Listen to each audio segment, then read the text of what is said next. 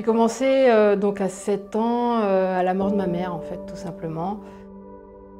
Mon père s'est retrouvé tout seul, il faisait du tir à l'arc euh, avant et pour pas nous laisser tout seuls, lui, et puis pour lui aussi, il a repris le tir à l'arc et nous a emmenés, moi et mon frère.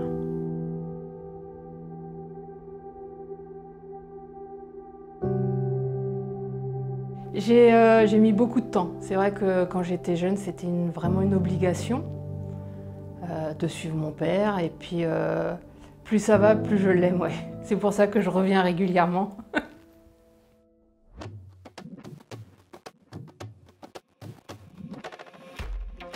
je pense que j'ai appris les bonnes bases dès le départ. Et, ces bases m'ont servi et en classique et me servent encore aujourd'hui en arcapoulie. Donc ouais, voilà, je pense que j'ai eu les bonnes bases dès le départ et en tout cas ce qui me convenait bien.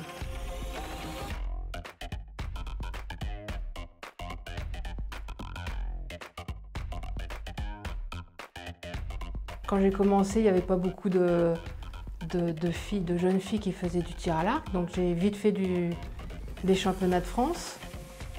Et puis, euh, puis au fur et à mesure, bah, je suis rentrée en équipe de France en 1990 pour faire les championnats du monde junior.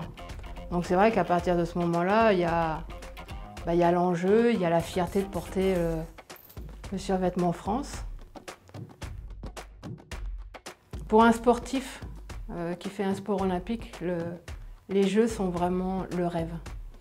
Et c'est vrai que moi j'ai raté ceux de 92 et de 96, d'avoir eu la chance de pouvoir faire ceux de 2008. Donc euh, bah voilà, j'ai saisi cette chance. Et en plus, ramener une médaille, c'est tout simplement un, rêve que j'oublierai jamais. C'est le rêve du sportif, je pense, les Jeux Olympiques. Et euh, donc voilà, ça sera, ça sera gravé. Au départ, je ne pensais pas pouvoir arriver à ce niveau-là. On, m'aurait dit que j'allais être championne du monde ou euh, euh, j'aurais pas cru.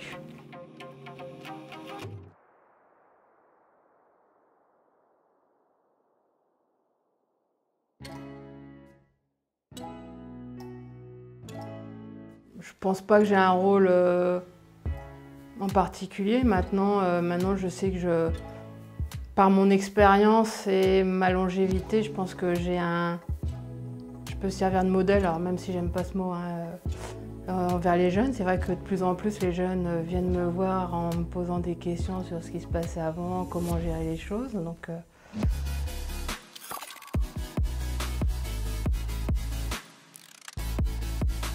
Voilà, j'essaie de, garder mon rôle d'athlète et effectivement partager mon expérience et si je peux aider, euh, je, le fais, euh, je le fais volontiers. C'est vrai que cette année, j'étais un peu surprise quand on m'a annoncé que j'allais à la finale parce que je, bah voilà, sur, euh, sur mes délines, je perds au premier tour. en Thalia, je crois que je ne marque pas de points. Donc c'est vrai que ça a été une année un peu compliquée pour moi. Après, euh, après euh, les championnats du monde où ça avait été un petit peu mieux, donc on a pris la décision que je vienne pour que je joue euh, quand même mes chances pour la finale. Et puis, et puis voilà, et je suis qualifiée pour la finale, ce qui, ah voilà, c'est vraiment une belle récompense du travail quand même qui est, qui est accompli, qui est effectué tout le temps. Quoi. Sophie has done it.